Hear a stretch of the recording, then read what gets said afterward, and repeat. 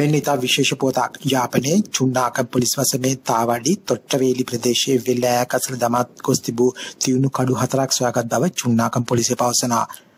තොට්ටවේලි ප්‍රදේශයේ වෙල්ලෑයක් අසල පොහොර බෑගයේ ගොතා දමා ගොස් තිබීදී ප්‍රදේශවාසියෙකු දැක ඒ බව පොලිසියට දැනුම් දීමෙන් පසුව පොලිසිය විසින් අදාළ කඩු රැගෙන යාමට කටයුතු කරලා තිබෙනවා.